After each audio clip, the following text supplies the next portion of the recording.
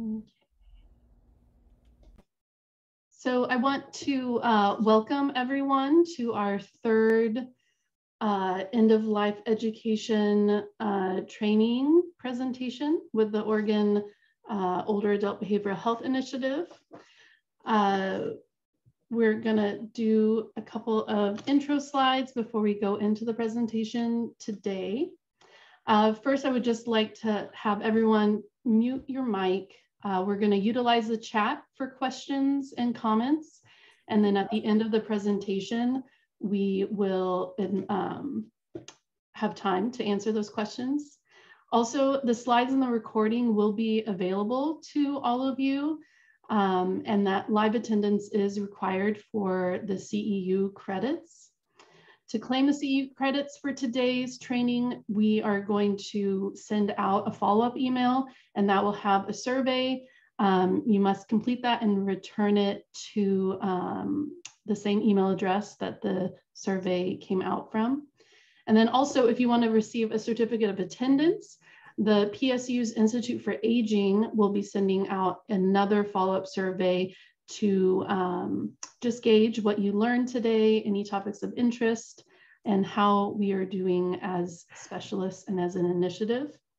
And then just to let you know again, everything is going to come, um, the PowerPoint presentation, the recording, and uh, any other materials that the presenters would like to include um, into that follow-up email. And so to do an overview of the Older Adult Behavioral Health Initiative, uh, in 2015, the Oregon Health Administration um, created and funded the initiative, and we have 24 specialists assigned to one or more counties, and we're all contracted and co-located at community mental health organizations. And so we address the unique needs of older adults and people with disabilities with behavioral health needs. And our specialists are engaged in collaborations and coordination in the systems of care. We help build knowledge capacity through free workforce development training and community education.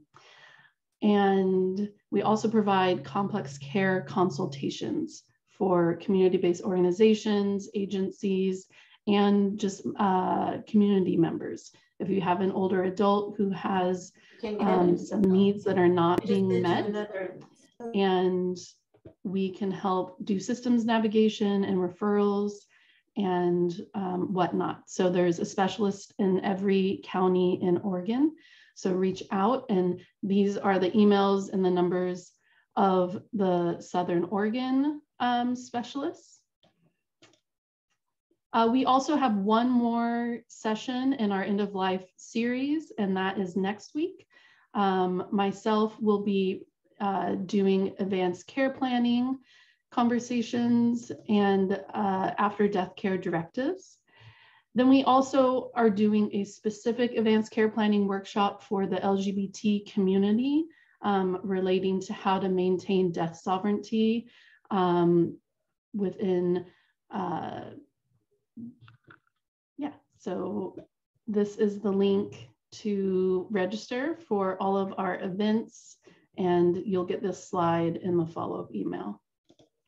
So without further ado, I'd like to present um, and introduce Elizabeth Johnson and Erin Collins. They're gonna be talking about community-centered end-of-life care and end-of-life doulas, and they are from the Peaceful Presence Project. And the Peaceful Presence Project is a nonprofit organization based in Bend, Oregon, uh, with a mission to reimagine the way communities talk about, plan for, and experience serious illness and the end of life. So co-directors Elizabeth Johnson and Erin Collins, uh, they're gonna discuss their mission of improving end-of-life literacy and empowering communities with the skills and knowledge to support each other in living, aging, and dying well in place. So I'm going to stop sharing and pass it over to Elizabeth. Thank you, Angela. And I'm just going to do a screen share here. Is that visually okay for everybody? Thumbs yeah, that looks great. great. Um, and I apologize. I'm here working in my home office, and somebody has decided to use a power tool outside. So I'm hoping there's not too much background noise. The the benefits of working at home. Um, so thank you so much for allowing us to be here in this space with you. Um, as Angela said, I'm Elizabeth Johnson, and I'm here with Erin Collins. We co-direct uh, the organization, the Peaceful Presence Project. We're based, our base is here in Central Oregon, um, and we work to serve um, Oregon in general. So we've got initiatives happening throughout the state. Um, and so we are share the objectives here. The objectives of our of our time here um, really are to talk about, describe, um, and have you all understand what the compassionate communities model of care looks like and why it really is important and relevant um, right now for for our communities.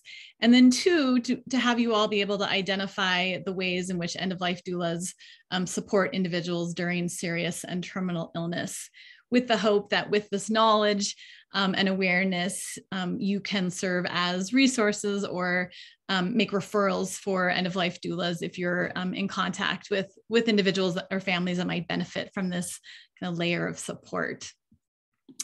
So we wanted to start out just kind of talking about the compassionate communities model of care because this is something that really informs um, kind of the work and the foundation of our um, organization in, in the world. So um, the compassionate communities model of care has really been greatly influenced by um, someone named Dr. Allan Kellehear.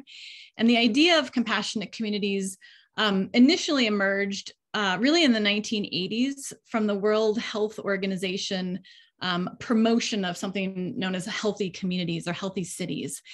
And this notion that, you know, whereas formalized health services um, or other services are really useful in a lot of situations, that more um, holistic interventions that include involvement from local governments, um, educational systems, faith communities, um, neighborhood associations, neighbors in general, is really needed to bring about more key change and quality support for people. So in the 1990s and 2000s, this approach really started being applied to palliative care um, and critical public health. So the compassionate communities movement is notable because it really um, promotes a, a social model of palliative care.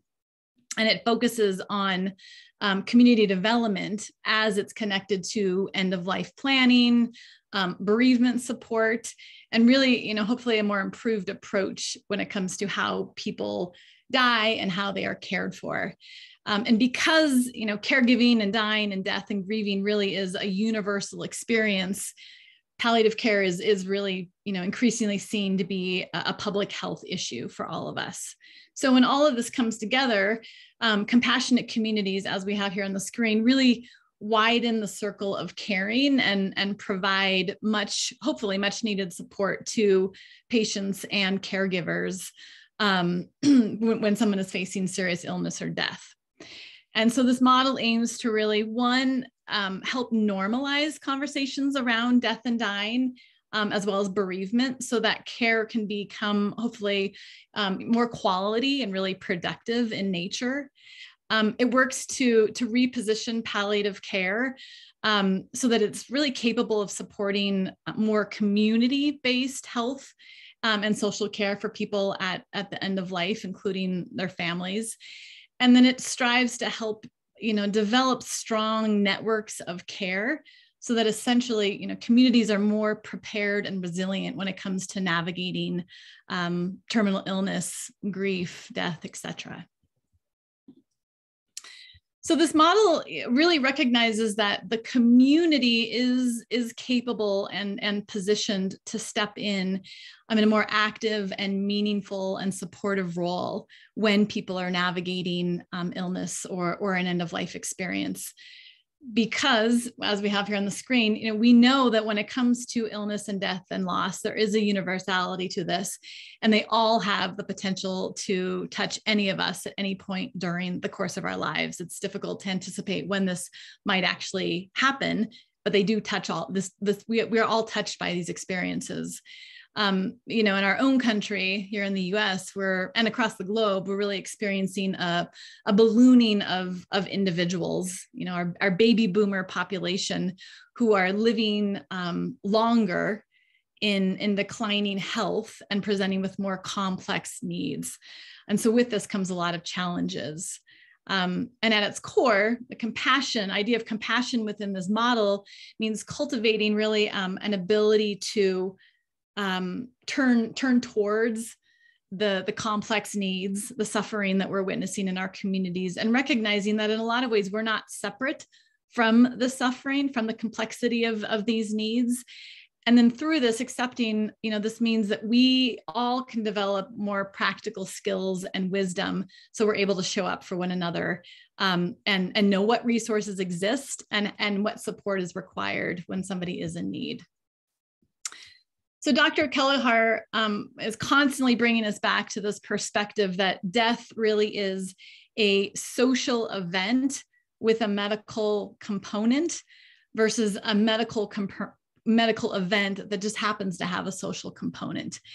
And you know, we often talk about the, the this distinction is really important because it, it, it informs where and how we can all feel empowered to be involved that within the social sphere of life and death, we do have an empowered right to, to show up and to support one another and to be more resourced around this. Um, and Dr. Kellehear often says that, that health and well-being are really everyone's business.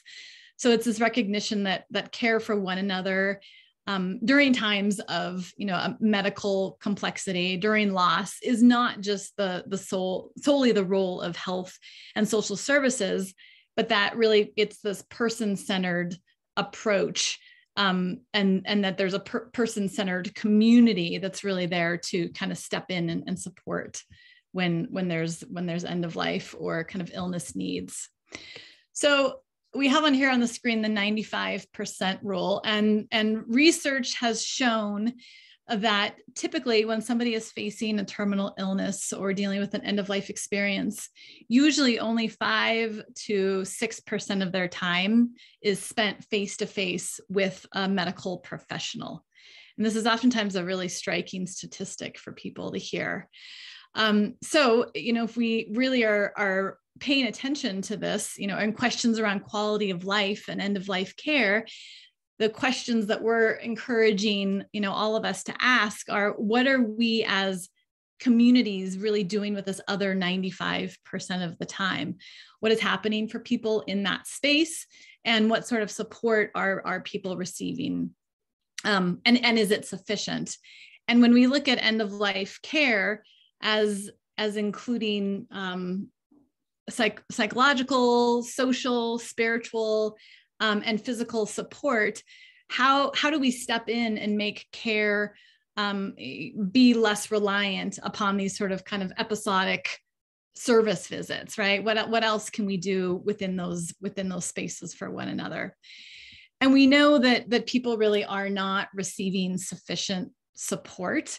Research has shown that the community members who are living with life limiting illnesses commonly encounter things like depression, anxiety, uh, a lot of social stigma, um, disenfranchisement, you know, the sense of nobody knows what to do with this experience. And those that used to be around me have sort of disappeared to the corners of my life. Um, there's a lot of family issues and dynamics that can play out. Financial picture, financial strain for people can really change suicide oftentimes increases during these windows. So these are really um, key determinants of, of quality of life for the dying and their caregivers. And, and a lot of these um, social and psychological and spiritual problems cannot always be easily addressed, right, just by health services, especially in these last days of life. Um, and we oftentimes, you know, talk about the comorbidities that that accompany um, people when they're navigating uh, life limiting illnesses. And, and these really are um, the things that are, are a challenge for a lot of people, the things we have listed here on the screen, the, the stigma, the social isolation, the fear, the loneliness. Um, the, the good news is that these comorbidities are a lot of times responsive to um, harm reduction to prevention and to what we kind of refer to as community supported interventions that are oftentimes used in other um, public health campaigns. And that especially engaging the community in, in end of life caring is a really key component to this which is what the compassionate communities model is um, trying to sort of um, have emerge in a lot of communities across the across the us and we know that oftentimes people don't need more medicine or counseling or doctor's visits but they just need more uh, consistent sort of wraparound support so, Dr. Kellehear defines a, a, compassionate community as one that recognizes all natural cycles of sickness and death, or excuse me, sickness and health, birth and death, love and loss. And these occur with every day within the orbits of its institutions and regular activities. Um, so it really values uh, more of a whole systems approach, which ideally includes loved ones, neighbors, health services, local governments, um, schools, and, and social and cultural sectors. So as you can see from the image here on the screen, what you're hoping, to, what we're hoping to do here is create this ecosystem of care that sort of emerges emerges around a person. You can see here that the dying person is really at the center. And then there's this collaborative um, network of sort of diverse stakeholders. So There's a more holistic and, and cohesive web when it, in, in place when it comes to supporting those at end of life. Um, so you see the dying person surrounded by kind of the more immediate people who are there to able either support or who are impacted by, by this experience. Surrounded by, on this image, we have the end of life um, doula network, which Erin will talk more about here in a moment surrounded by a healthcare system, surrounded by government policy and public health. And that all these different entities are sort of working to really surround and, and support. Um, so compassionate communities really, you know, are communities that ideally are developing these social networks and these social spheres and these policies that help to support people through you know the hours and days and weeks and months and sometimes years of living with a life limiting illness and included in this are experiences of of grief and and bereavement and and caregiving for individuals so I just want to talk a bit about um, death literacy before I hand it off to, to, to Erin next. So understanding, you know, the, the 95% rule, we see the death literacy is, is, is really essential to all of this. And death literacy is typically defined as a set of knowledge and skills that really make it possible um, to gain access to gain access to and understand um, end of life death care options. So knowing what services are available and affordable and how to pull these services in so it's really um, about kind of developing this practical wisdom, which is the good news, is something that we all we all can develop and something that our work is really focused on. Um, being death literate really mean, strengthens our ability to care, meaning that we are inher- inherently sort of creating these compassionate communities. And then it's focused on uh, the cultivation of, of skills and knowledge and sort of the social action that in turn helps to create more systemic change for people who are ill or dying. Um, and we know through research that the communities that are really rich um, and diverse in terms of relationships really are key to this. And there's so many communities where this already is a part of, you know, sort of the daily interactions that somebody has. So this this model is less about implementing more of a, a kind of standardized program and more about helping communities to sort of recognize this mutual care philosophy and then having this be translated into more um, concrete um, more localized practices that are that's really being community led right? What this might look like here could look like a slightly different um, version of this in, in a different community. So it really looks at um, building capacity through education and sort of shared experiences within a community um, it's all about community strengths and looking at the assets that that exist within within already kind of um, circulating networks and then knowing that the community is really seen as the experts of the of the own of their own living and dying process and so um, all of these different um, sort of stakeholders are, are valued as, as key um, members of all of this. And there's some really great um, online information if anyone's interested about helping cities develop a compassionate communities charter. Um, there's um, death literacy indexes that people can sort of apply and use locally to see where your community stacks up in terms of, of, of both, you know, kind of practical and then more psychosocial death literacy. And then finally, we have some, you know, statistics here on the screen that just highlight some of these um, deficits. I think a lot of times the communities experience that really only one in five um, people know how to navigate the health system when someone is dying. Only one in three know how to navigate the funeral industry. What does that even look like in terms of setting stuff up ahead of a death or afterwards? Only half of us know where to get information on about palliative care or even understand what palliative care looks like in the first place.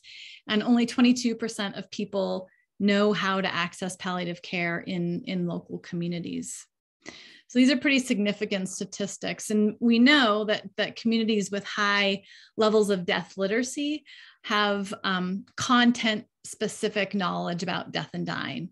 And so there's a bill, this ability to put that knowledge into um, practice again as, as a form of social action sort of the idea of social capital that's built up around this um, and it ideally is you know putting the a sense of power or empowerment back into people's hands and so once this happens death literacy becomes a, a very real resource that people can use um, for the benefit of themselves and their loved ones so I will pause there and I'm going to hand it over to Erin, and she's going to get a little bit more into um, the work of end of life doulas and then use our um, organization um, as sort of an example of how that looks here. Thanks, Elizabeth. And um, hello and well, um, hello to all of you, and thanks for having us.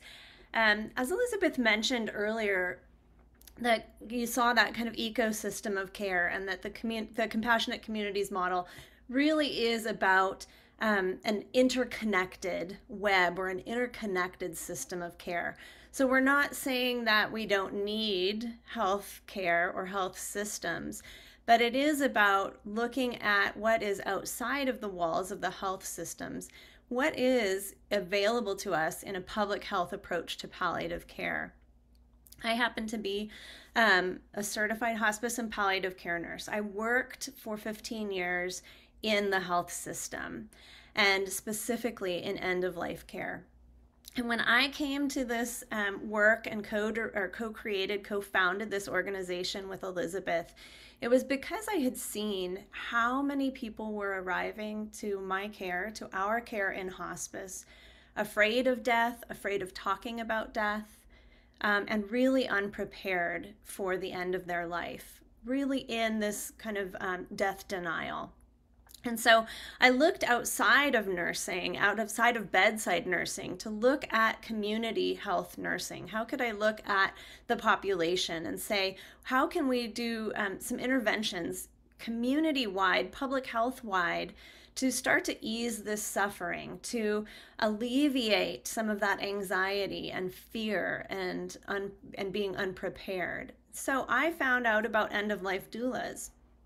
And Many of you may already um, know about doulas, but if you don't, um, the doula really um, came, it's an ancient Greek word, doula is, and it's just, it was in that language and in that time frame, it was a woman serving another woman. It was adopted and really brought into the United States um, culturally as birth doulas in the, in the 70s and 80s, right? People who were trained to show up in a non medical capacity for the birthing process to provide and try to alleviate that um, kind of uh, movement towards medicalized birth. Well, the same thing has happened um, at the end of life. Because uh, our end of life care has really become more medicalized, and, and hospice is a Medicare benefit, and so it's really been taken more into the health system the idea of the end of life doula is to to bring it back into the community and to provide that wraparound support that Elizabeth mentioned that is so key to improving end of life experiences and to improving death literacy. So, end of life doulas are non medical companions for dying people and their families. And doulas work as a complement and or in collaboration or partnership with hospice and palliative care. Um, not we don't usurp the roles at all. Again, we're not going outside of the health system. We're working alongside it and filling in those gaps in care um, that exist in our culture and in our society today. And Elizabeth talked about the comorbidities of serious and terminal illness. And this is where end of life doulas really can provide excellent support, is in um, alleviating or doing that harm reduction and prevention with those comorbid- comorbidities. Um, end of life doulas provide physical support, right? Um, sometimes respite caregiving, um, non medical symptom management, emotional um, support by with active listening and um, and just uh, processing, spiritual support um, as an extension if somebody is enrolled in hospice or palliative care or has a strong faith community they might have spiritual support. But there are a lot of folks who don't have that spiritual support but do have spiritual aspects of who they are and doulas support that. And then again practical support. So just the logistics that need to that come up around supporting someone at the end of life. Um, you know within the home within the community um, within the caregiving needs. Those are all some practical um, uh, practical ways that doulas support as well. Elizabeth next um, slide please.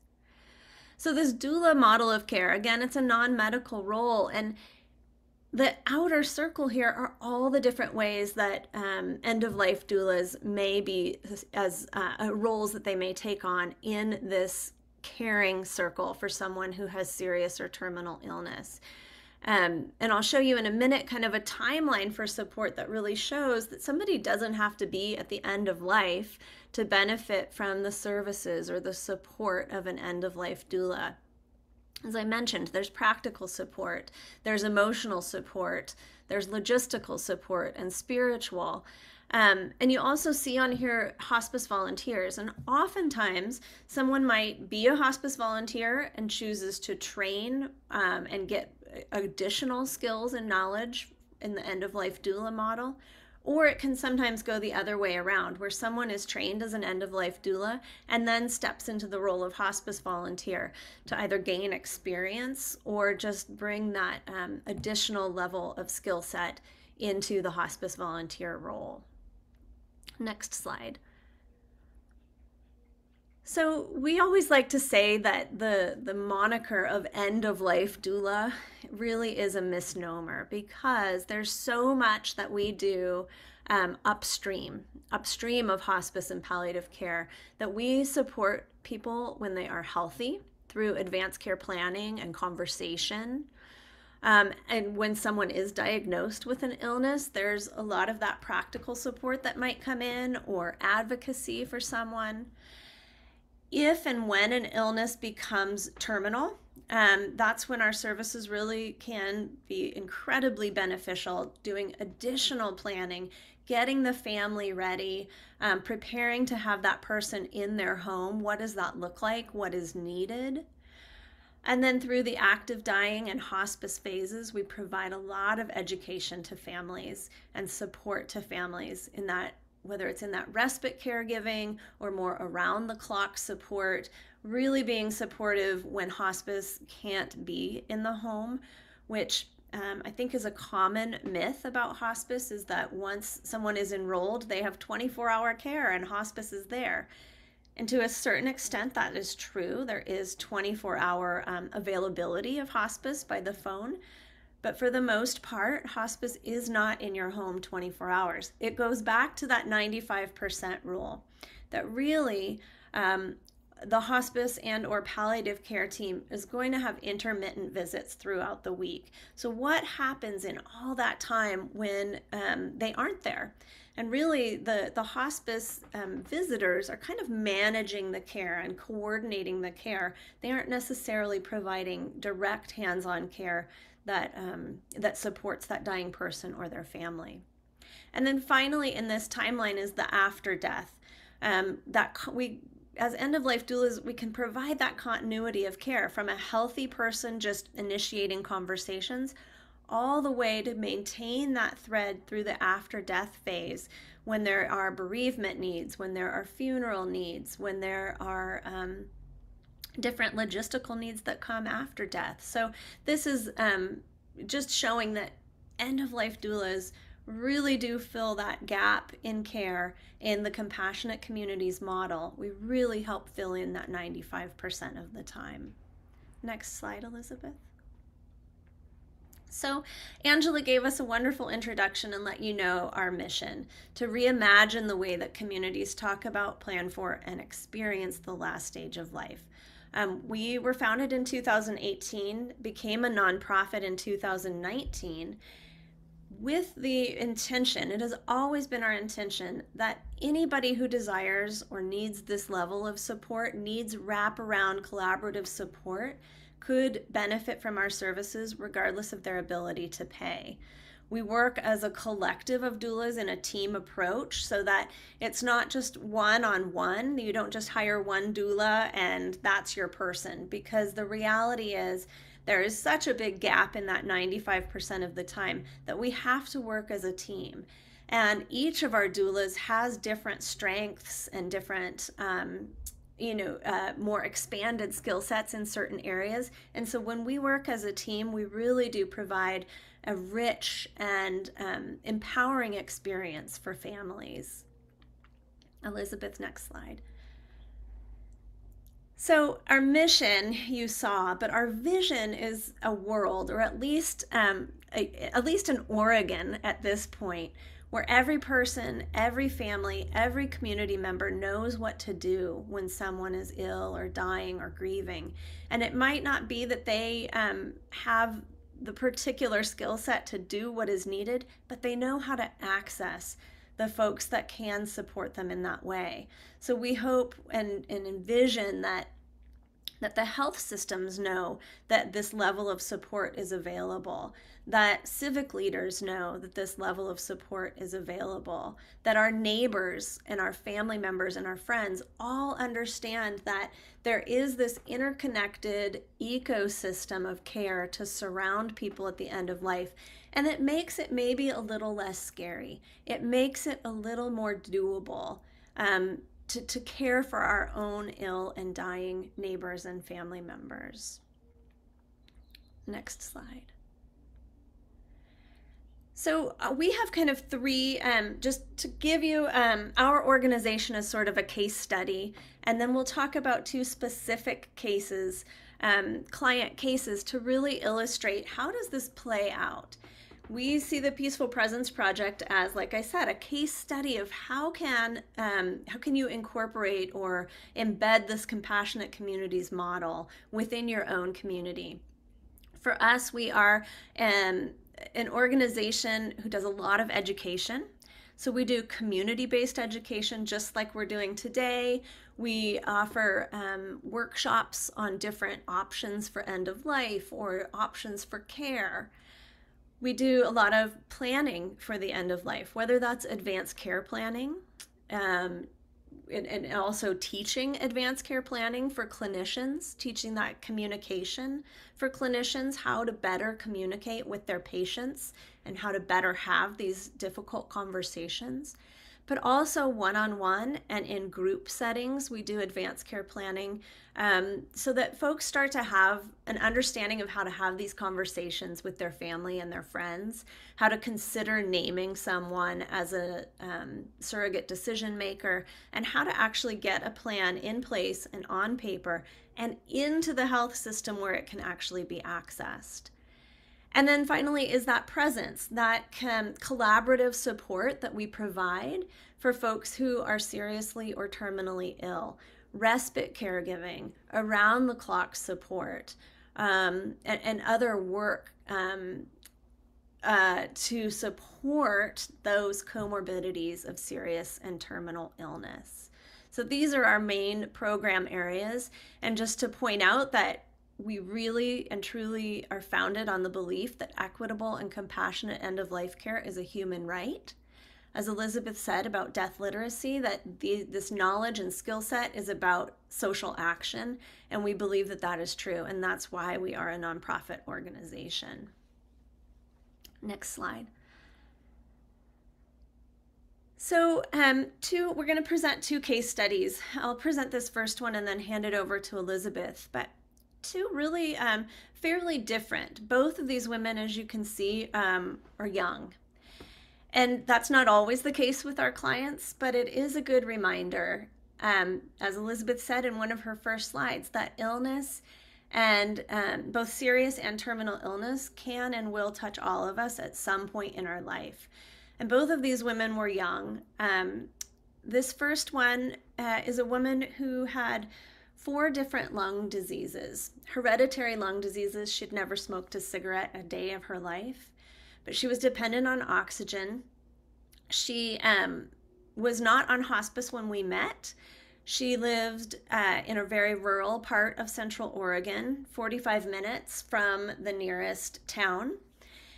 She uh, had a really wonderful friend who was visiting weekly. Um, this person, this um, woman, we started seeing her in 2020 and late 2020. And as many of you may remember, we had significant wildfires at that time.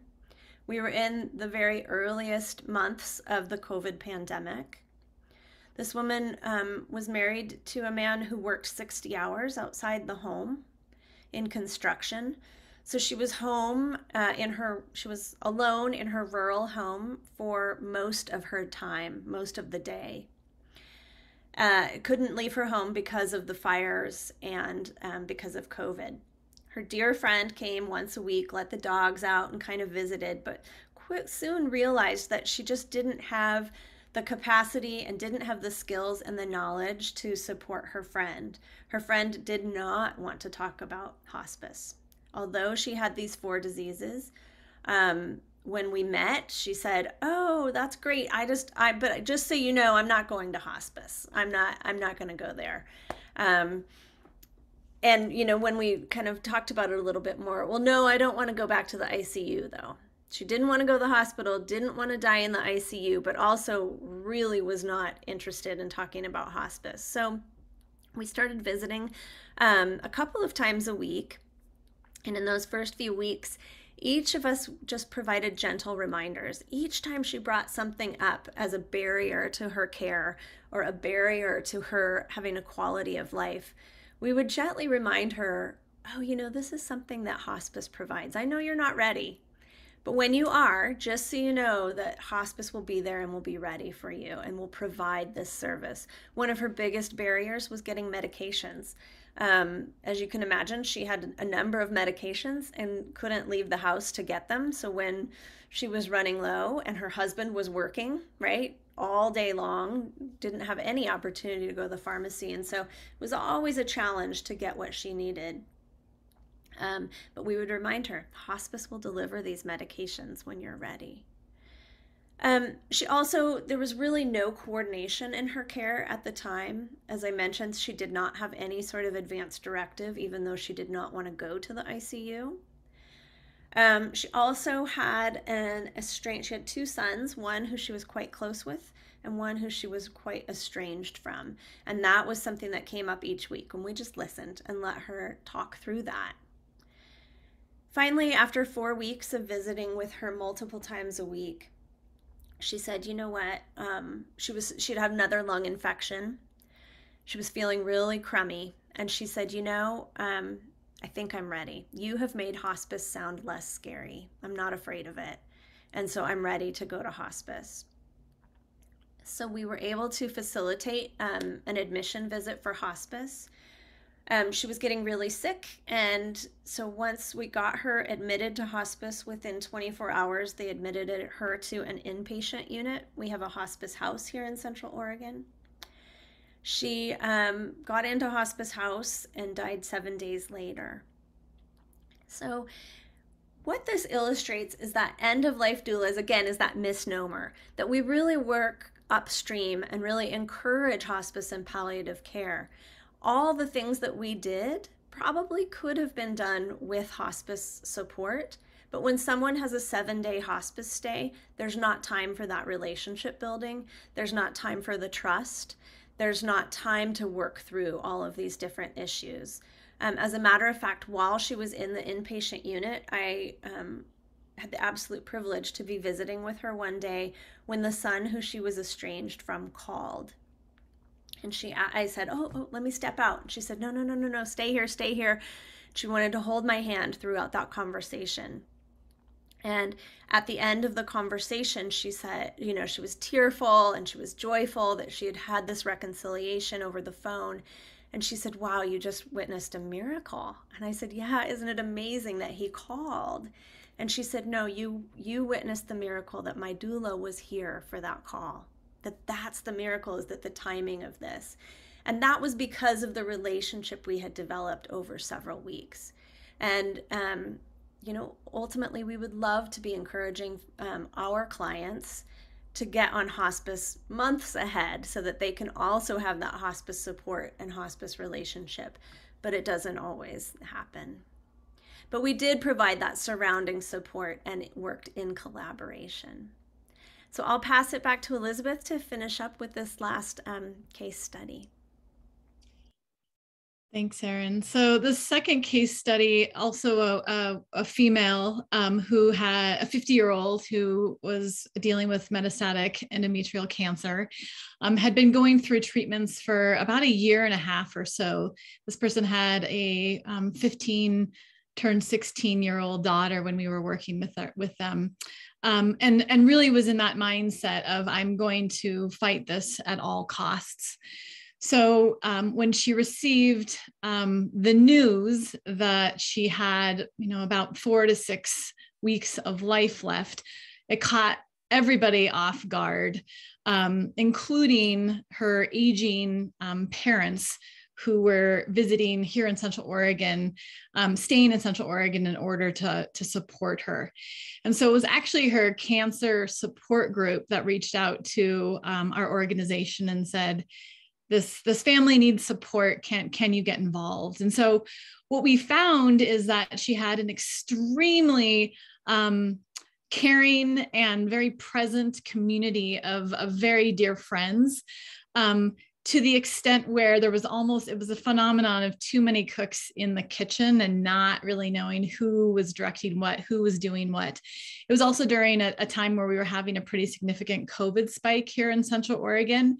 Um, and her her parents were saying you know we don't know how to be gatekeepers for the house. People, some people are coming in masked some people are not coming in masked. Some people are really understanding the kind of um, the acuteness of what's happening here and other people are stopping by and saying yeah let's let's i'm going to take you out for for a, um, um, a walk or a drive which was not really appropriate where she was in terms of, of her illness. And so we um, we we became involved and you know one of the first things we did was to say okay what sort of planning have you done? What sorts of people do you want around? Who do you not want around? How do you want the space to feel? How do you want your your parents to be caregiving? And who else might be able to step in and support? What are the um, kind of skills or tools or assets that already exist within your community and who are the appropriate people to really be there and and care? Um, what does it look like to not have this be an open house where people are coming at all hours of the day, but what sort of framework or infrastructure do we need to be able to put into place um, to really meet your needs? And not just the needs of our dying client, but also her exhausted family who was who was trying to be there and really was on point 24 7. And so um, we we worked both kind of in a, front and center way really acting as advocates and helping to do some of that gatekeeping with some of the community um, managing some of those or tending to some of those relationships, especially when it came to sort of risk management decisions, COVID, um, and then a lot of kind of the back of back of the house or background support setting up online systems where people could sign up for support shifts we had some of our trained doulas along with Erin and I stepping in and taking some of the night nighttime hours where the parents really needed to get some rest, but ended up being, you know, awake and, and with her for, you know, windows of like 1 a.m. to, to 5 a.m. So really looking at what are the greatest needs here and how do we sort of empower and involve her really, you know, wanting to support community in a way that makes sense for everyone. Um, another really clear wish of hers, she was a practicing Buddhist, was that she wanted to die at home and she wanted to um, potentially be at home for multiple days, for two days after the death. And we sat down um, to, you know, talk through a lot of these desires and her her closest friends and her family all said, you know, we know we know this is actually not something that's possible, but it is a desire. And it was a really beautiful sort of pause in in the conversation for Erin and I both to be able to say, that actually is possible and um, you know we, we could help empower you as her community to make that a reality and so the pictures we have here on the screen um, are her her beloved some of her dearest friends her stepmother um, and then Erin and I, in, in a volunteer capacity, um, end of life doulas do not do any after death care hands on work. That's not something that falls within the funeral director role.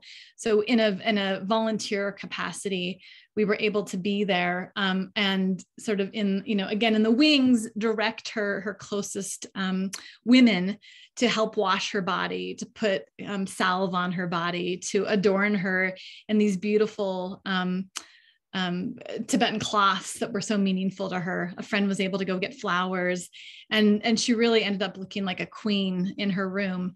And through that process, we, we had her there for two days, um, where family family members, community members, friends, people from outside of town could come through and and get those final um, moments with her, even though she was she was gone.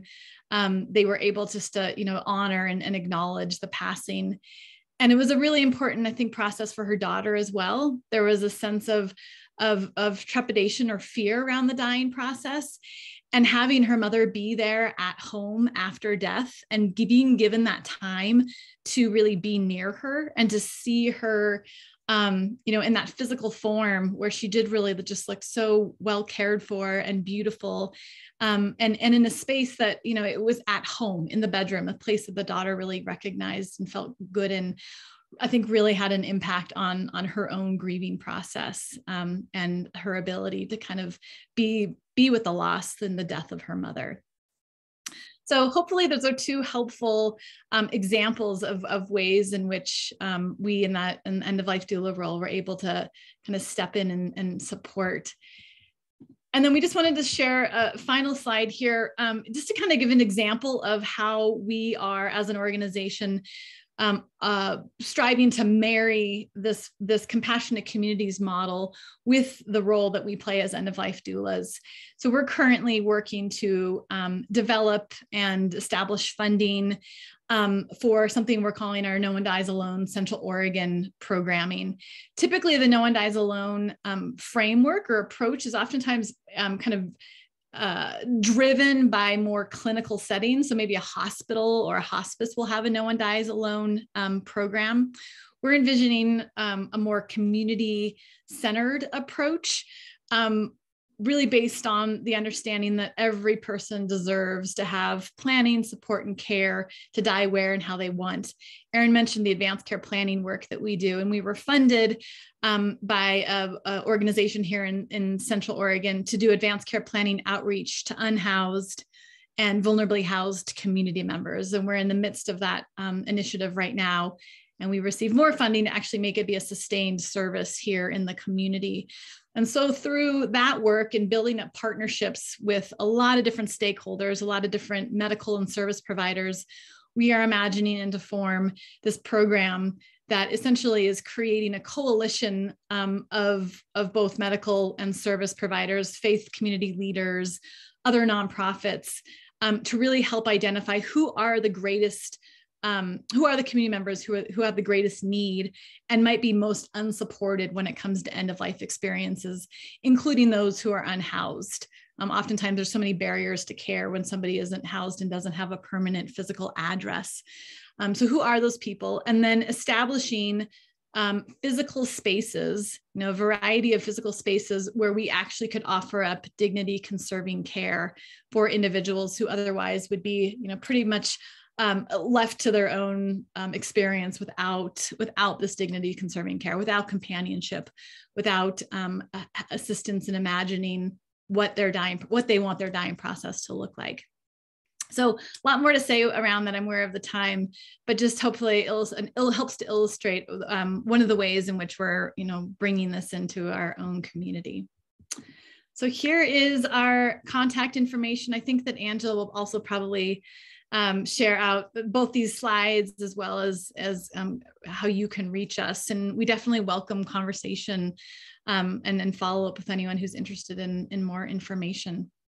So I will go off um, screen share and open it back up to Angela or Linda to see if there's any questions we can respond to.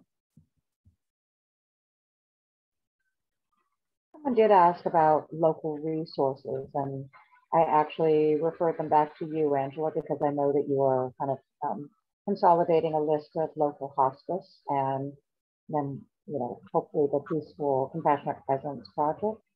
Um, but I actually, you know, at, at one point, Erin or Elizabeth, you were talking about the resistance to people calling in hospice. I, you know, it seems so much that it's like this denial of I'm not going to die. Um, you know, and you hear hospice and it just seems like a death sentence. So it's scary. You know, it would be great to encourage people four to six months beforehand to get that support. But I, I think there's just so much denial around it. Is that what you mm. think it is? Erin, yeah, I mean, I think um, that's, you know, I think that that all really came to play, in my opinion. um, this really is a result of hospice becoming a Medicare benefit with a six month um, prognosis requirement. And so everybody says, oh my God, that means six months, right? Like, oh my gosh, I'm dying. You know, I, I'm not, or I don't, I'm not dying. That's not for me. And there is a movement to remove that six month requirement that would enable people to have the benefits of hospice for a longer period of time. But it really is true that it is about that kind of the stigma or the myth around hospice that you have to be actively dying to receive that level of care. And so I think we have a lot of education to do and a lot of awareness still. You know, it's this is the 40 year anniversary of the hospice Medicare hospice benefit and there's still just a lot of awareness to but you're you're right that there is a lot of death denial as that comes into that as well. Linda, there's a great question in the chat box about locating a doula. If you want me to speak to that. Please. Um, so I see Jamie asked, how does one find an end of life doula in various parts of the country or questions that you might ask before hiring them, which is really, really great approach and, and great question. Um, so there's an organization called the National End of Life Doula Alliance, and I'm currently currently a board member with them.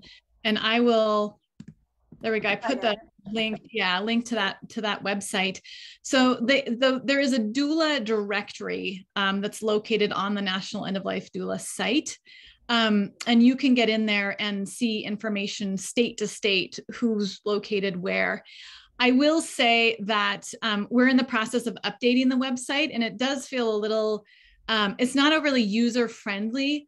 Some of the questions and the things that will uh, we're updating it right now, and some of the things that will be added that would be you know kind of what might you ask is how long has somebody been in practice? Where have they received their training? How many clients have they worked with to date?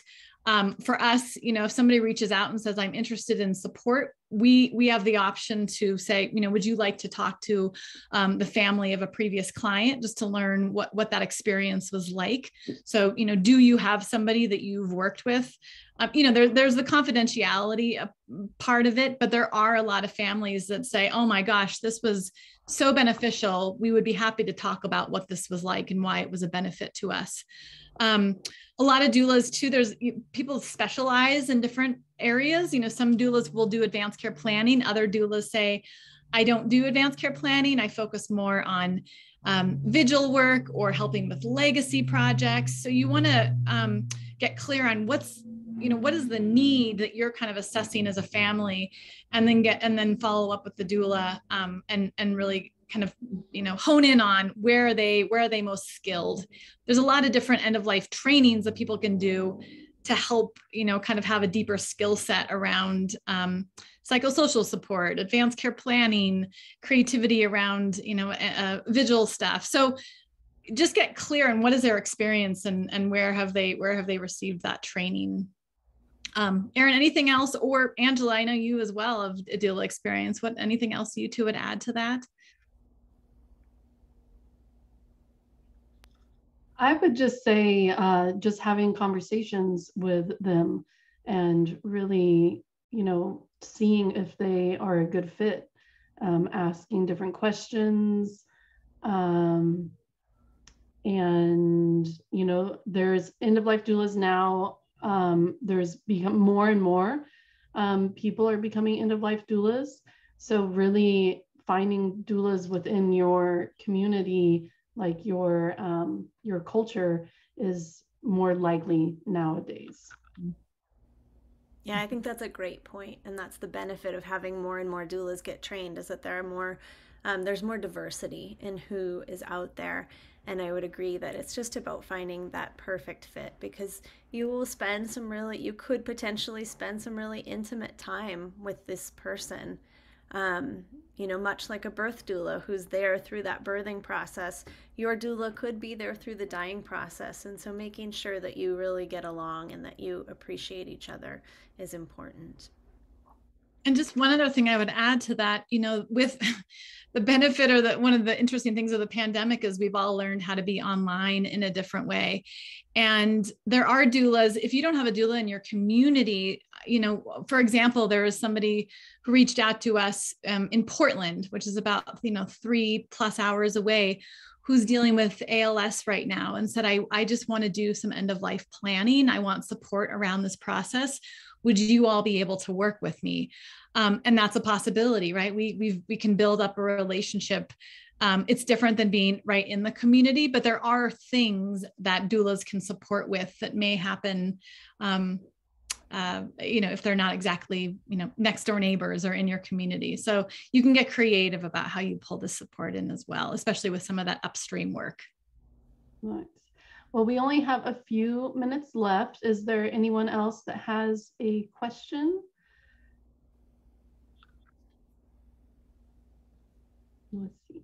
So, um, well, I want to thank the two of you so much for presenting. Um, really amazing presentation and the case studies. I feel like you really, you know, got it across on the possibilities. Um, so thank you so much. And uh, we will be sending out the follow-up email um, with ways of getting a hold of a peaceful presence. And um, you can check out all of the things that they offer um, on their website. And yeah, so thank you all. Hmm, thank you. Thank you. Have a great day, everyone. Yes.